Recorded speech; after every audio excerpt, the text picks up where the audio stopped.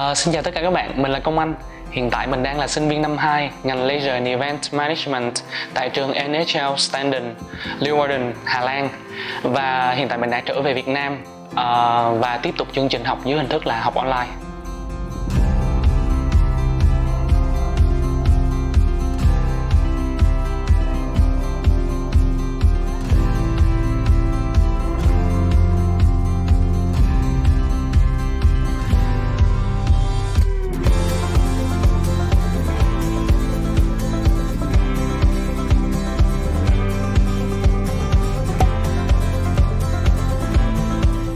Ra thì uh, đến với Hà Lan nó cũng là một cái uh, gì đó nó hơi duyên số đối với em một tí. Theo như em nhận thấy thì hospitality tại châu Âu thì Thụy Sĩ là một trong những uh, nơi những cái môi trường đào tạo rất là tốt về hospitality. Nhưng vấn đề về tài chính không cho phép nên thành ra là em đã chuyển hướng sang một quốc gia khác. Thì uh, sau đó thì em cảm thấy Hà Lan là một đất nước rất là ok uh, văn hóa đẹp văn hóa rất là tốt. Ờ, bên cạnh đấy thì môi trường học tập cũng khá là ok. Em bắt đầu tìm hiểu về Hà Lan từ lúc đó chứ không phải là em chọn Hà Lan từ trước khi em chọn ngành. Uh, trải qua một thời gian uh, sắp xỉ hơn 2 năm uh, học tập tại trường thì uh, đánh giá về mức độ hài lòng của em đối với trường thì đó là mức độ hài lòng. Chia sẻ thêm một tí đó là tại thời điểm ban đầu thì lựa chọn của em đó là không phải ngành leisure and event mà là ngành hospitality. Nhưng trải qua một năm đầu tiên học pre-bachelor uh, cùng với sự định hướng uh, và giúp đỡ định hướng từ uh, các giáo viên của trường uh, thì em đã có một quyết định đó là mình sẽ học ngành leisure and event một ngành học nó phù hợp với em hơn. Uh, và cho đến bây giờ thì em nghĩ đó là một quyết định sáng suốt của mình. Ờ, về vấn đề này thì em xin phép được đứng trên quan điểm cá nhân một tí.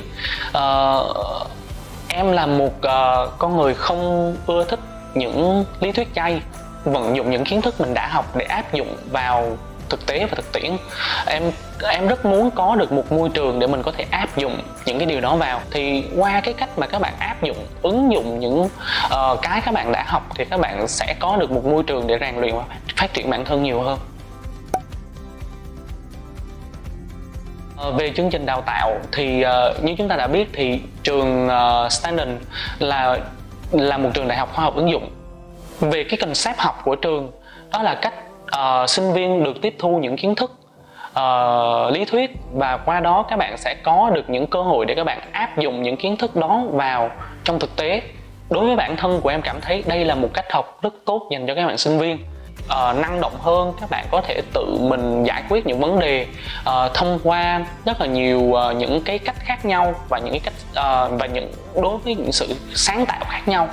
Thì theo em cảm thấy đây là một chương trình và một hệ đào tạo rất tốt dành cho sinh viên có thể phát triển bản thân.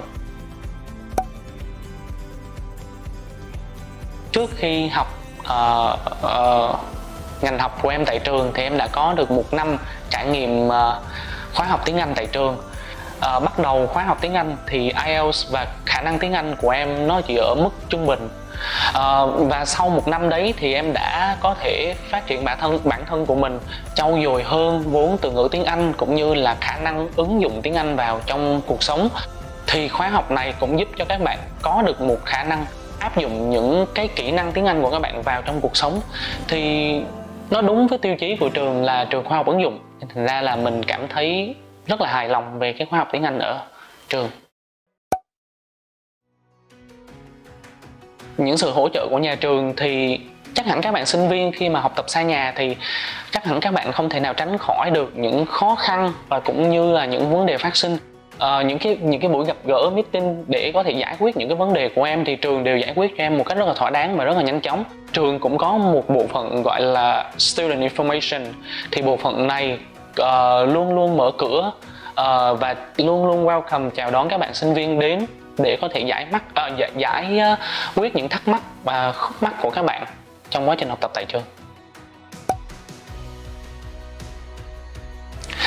Uh, em cảm thấy là đại bộ phận người Việt của mình khi uh, đại bộ phận các bạn du học sinh Việt Nam của mình khi uh, uh, sang bên kia học thì uh, các bạn hay có tâm lý là sợ các bạn sợ việc là các bạn sẽ không đáp ứng được cái yêu cầu của trường. Các bạn sợ các bạn sẽ không theo kịp được chương trình học. Các bạn cố gắng thì các bạn còn có được sự uh, trợ giúp và ủng hộ của uh, các uh, của của các uh, giáo viên tại trường rất là nhiều. Bên cạnh đó thì những sự hỗ trợ của các uh, uh, phòng ban của trường cũng là một ừ, trong những cái sự giúp đỡ rất là tốt dành cho các bạn có thể uh, cố gắng và nỗ lực phát triển bản thân. Thì theo em thấy uh, với những điều kiện tốt như vậy và với những cái sự cố gắng của các bạn thì rõ ràng um, các bạn không phải quá lo về cái vấn đề đấy. Theo như em thấy là như thế này uh, khi khi mà các bạn uh, đi du học thì cái mục đích đầu tiên của các bạn là đi học.